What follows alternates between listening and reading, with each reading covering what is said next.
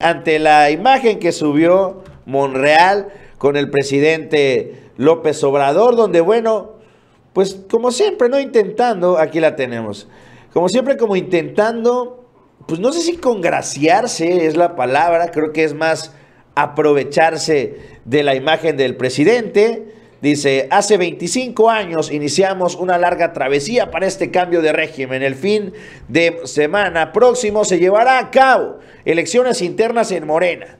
Muchas personas inscritas nos combatieron hasta hace poco. Bienvenidas. El crecimiento no debe perder al movimiento. Pues sí, no dejando en claro así como que yo estuve al pie de guerra, yo estuve al pie de la batalla y los que han llegado después, pues bueno, son bien recibidos, pero aquí los primeros siempre serán los primeros, como intentando dar a entender eso ahí Ricardo Monreal. Y es que después el presidente el día de ayer este, lanza este comentario en la conferencia mañanera, que ahorita ustedes me van a decir a quién le queda en saco. Recuerden, esta imagen la sube el día de ayer, a ver, el día de antier, por la tarde-noche, y este mensaje lo del presidente en la mañanera el día de ayer. Vamos a ver a quién le queda el saco.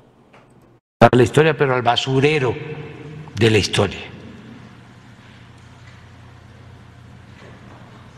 Es que, mira, aquí tengo yo foto con Andrés Manuel.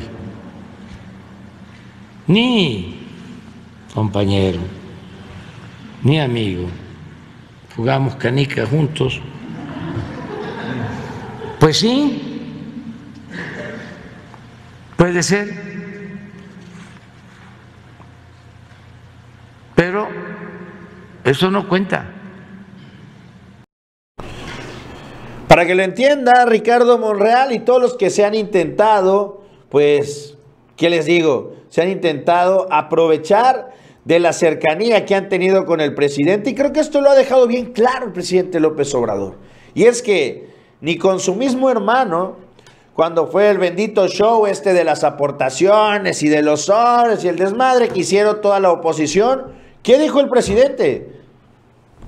Que se responsabilice, que enfrente y si está cometiendo un ilícito, pues adelante, que se vaya contra ellos. El presidente no va a meter las manos al fuego por nadie. Y es que, aunque la honestidad del presidente no está en tela de juicio, todo aquel que forme parte del gabinete y no sea congruente con la 4T, pues tendrá que enfrentarse pues a lo que le toque. Vimos al mismo Santiago Nieto que hizo un trabajo excelente el tiempo que estuvo al frente de la unidad de inteligencia financiera y pues tuvo un errorcito o un errorzote, cada quien lo verá como quiera. Hizo una boda que no iba acorde con la ideología de la 4T, hizo un bodorrio gigantesco. Y pues bueno, con la pena, eso no se puede tolerar en la 4T, aunque hagas un trabajo magistral. Ni modo, con la pena, agarra tus cositas y te retiras, amigo. ¿Va? Pues vamos a ver lo que hizo Ricardo Monreal, porque después de esto, parece que en respuesta, hay que decir la verdad, no la sube Monreal, pero la sube Aureoles. Silvano Aureoles, el exgobernador de Michoacán, que está siendo investigado por el gobierno del estado y también incluso había algunos columnistas, esto dejémoslo como chisme, estaba siendo también investigado por las autoridades federales sobre todo por el financiamiento a pues algunas empresas. Desvío de recursos, para hacerlo más claro. Empresas fantasmas, desvío de recursos. Recordemos, le salió también el, este, el reportaje donde el mismo Aureoles, el mismo gobierno, el mismo erario público del estado de Michoacán, estaba financiando a Latinos, a los dueños, a, a no a Loretito, perdón, a Roberto Madrazo, a Federico Madrazo y compañía.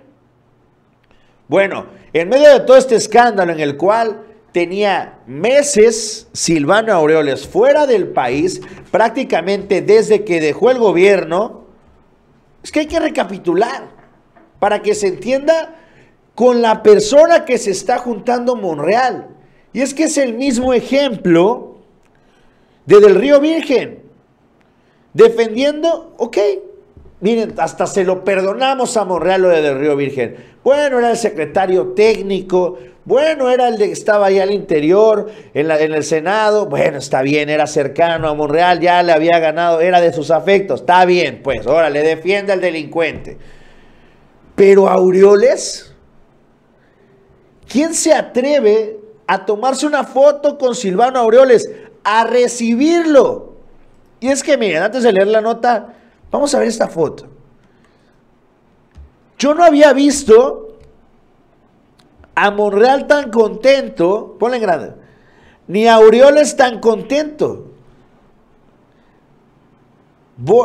No sé, de verdad, es, es increíble lo pillos sinvergüenzas que son y que se rían.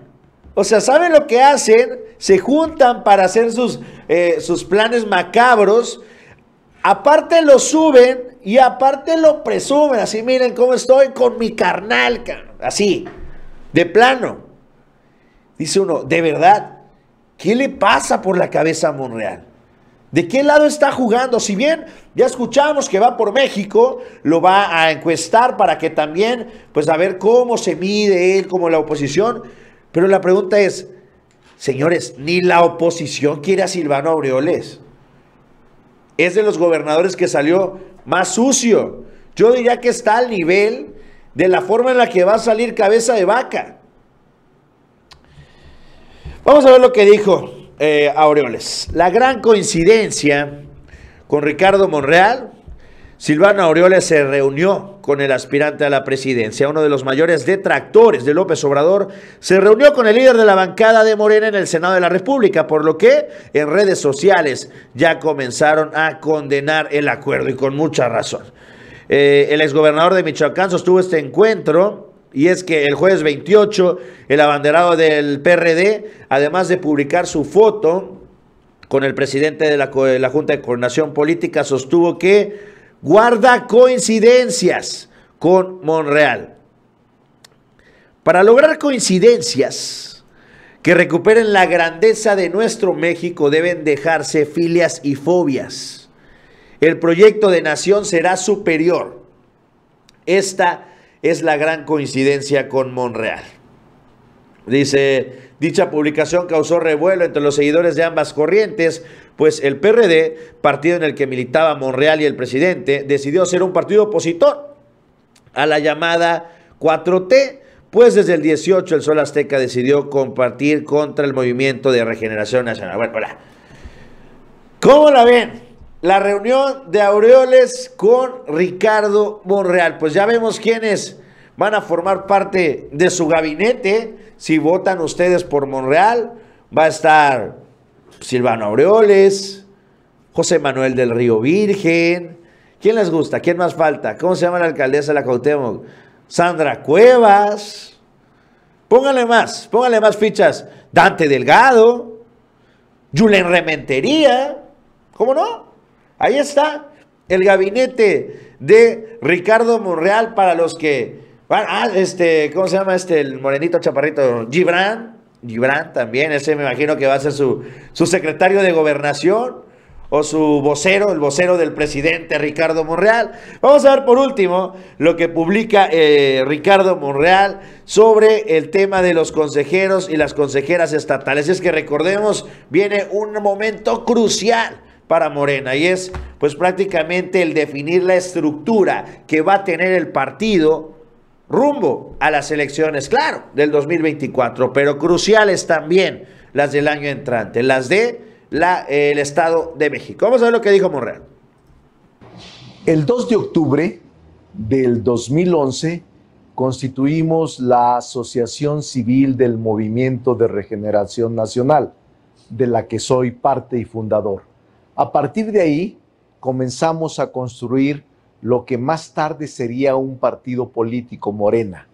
Para lograr este propósito con dificultades y con presencias escasas, convocábamos asambleas estatales. Apenas lográbamos reunir el número mínimo para declarar la validez de las mismas. Y para obtener el registro pasamos por muchas peripecias. No faltaron las descalificaciones, los insultos, las calumnias, pero seguimos adelante con miles de mexicanos y mexicanas, muchas y muchos de ellos ya no están con nosotros.